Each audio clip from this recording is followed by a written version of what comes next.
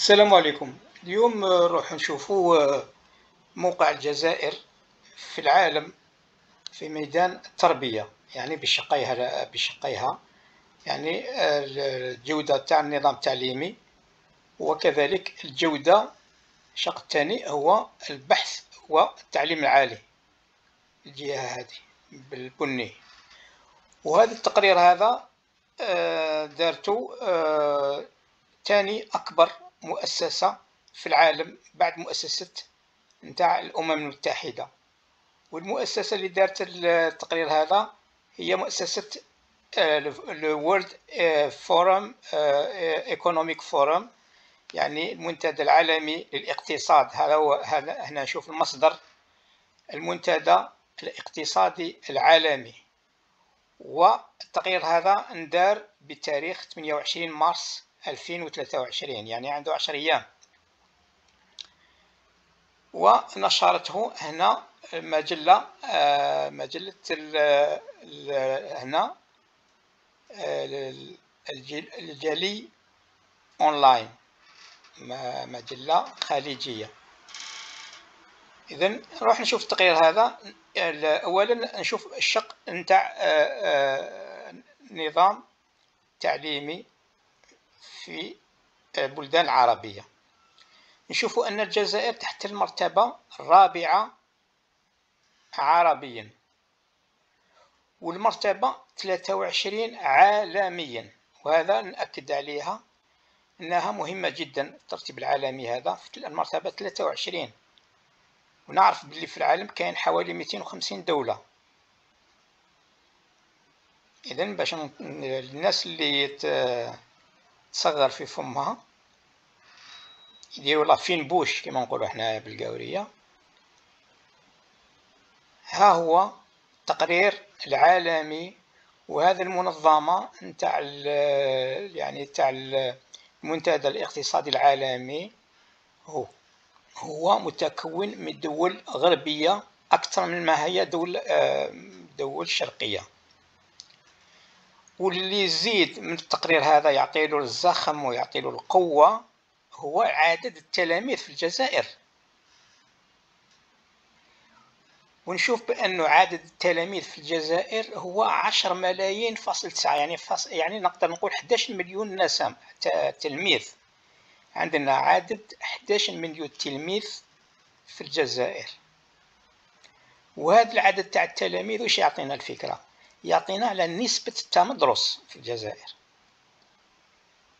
اللي هي تعتبر عالية جدا. هي المفروض عندما تكون العدد تاع التلاميذ أكثر كل ما تنقص الجودة نتاع التعليم كل ما يكون عدد التلاميذ كبير.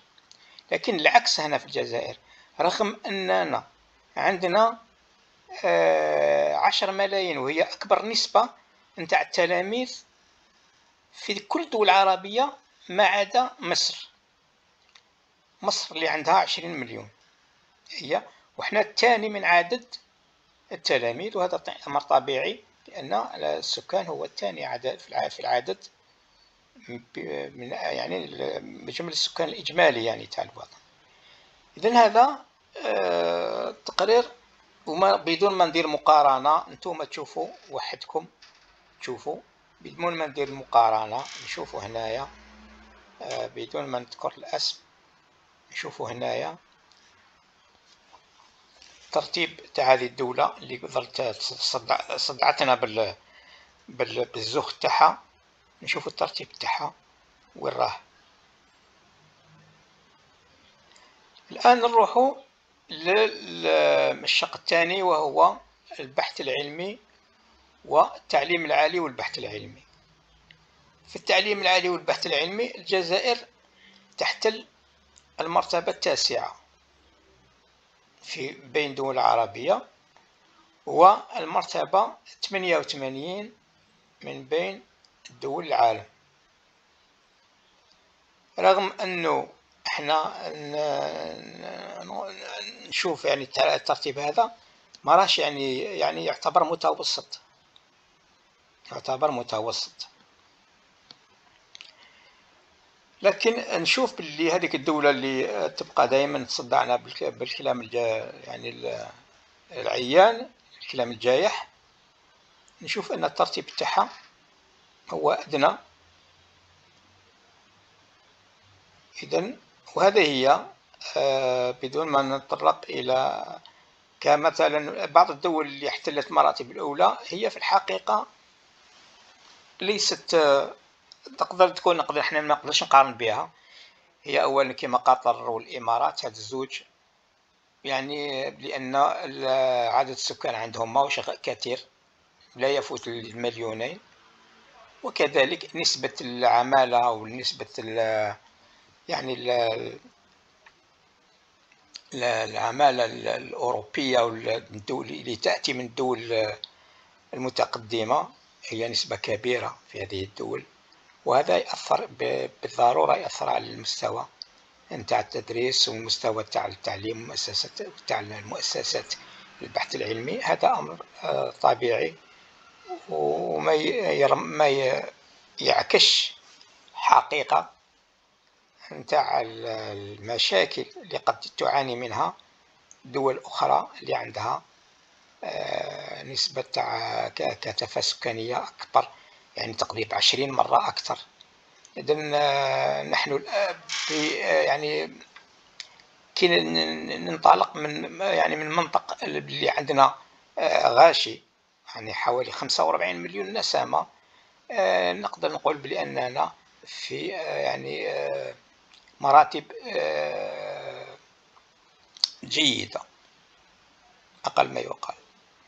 إذا هذا هو التقرير. نتاع المنتدى الاقتصادي العالمي اللي ندار في 28 مارس سنة 2023 وعن ترتيب الدول العربية في الجودة للتعليم وكذلك في جودة المؤسسات البحث العلمي. تقرير آه، هام جدا. يعطينا صورة ان فلاش عن آه، باش نقيم نفوسنا. لأنه إحنا ما نقي... إحنا إلا قيمنا نفوسنا التقييم هذاك يقدر يكون آه، يعني فيه عاطفي. لكن هذا هذا التقرير ماهوش عاطفي ويجي من مؤسسة أكبر مؤسسة اقتصادية في العالم ما بعد مؤسسة الأمم المتحدة.